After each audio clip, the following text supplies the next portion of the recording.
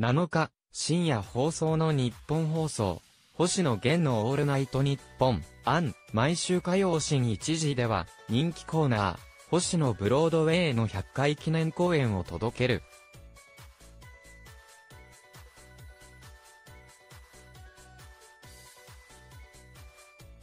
記念すべき100回記念公演は、声優の田中敦子が登場し、脚本をダウ9万の蓮見翔が担当するスペシャルなものとなる。田中は自身のツイッターで、本日はどうぞよろしくお願いいたしますどうか温かいお耳でお聞きいただけると嬉しいです。蓮見もツイッターで言ってきます。とにかく失礼のないようにと綴っている。